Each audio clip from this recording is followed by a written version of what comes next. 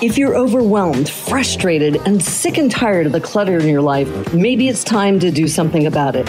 In this podcast, the most organized man in America, Andrew Mellen, demystifies how to organize your world. Andrew gives you the keys to stop clutter from robbing you of your precious time, freedom, and joy in your life. Here's your host, Andrew Mellen.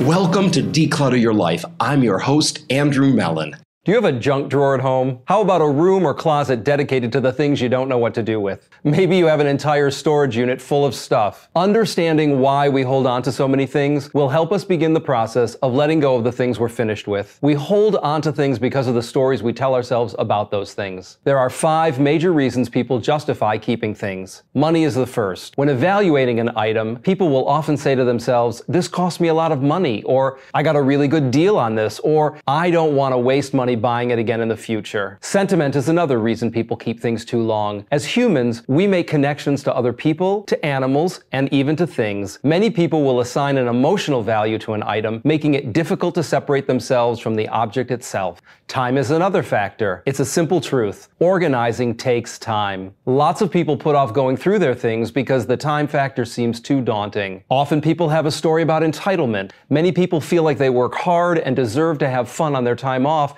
instead of taking the time that's required to get and stay organized. And the last reason is responsibility. The final reason people hold on to things is because they feel a sense of responsibility for what happens to the item after they're finished with it. So finding a good home for an item, not trashing the environment, or finding a needy recipient are all reasons people keep things too long. Recognizing these behavioral patterns makes organizing a practical process instead of an emotional one. Now that you know why you hold on to things, you can let go of them more easily. So that's it for today's episode. Be sure to join us here for other episodes of Declutter Your Life. Again, I'm your host, Andrew Mellen. I'll look forward to being with you again real soon.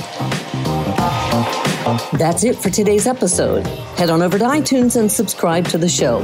One lucky person every single week that posts a review on iTunes will win a chance in the grand prize drawing to win a $25,000 private VIP day with Andrew Mellen himself.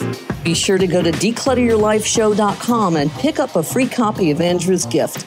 And join us on the next episodes.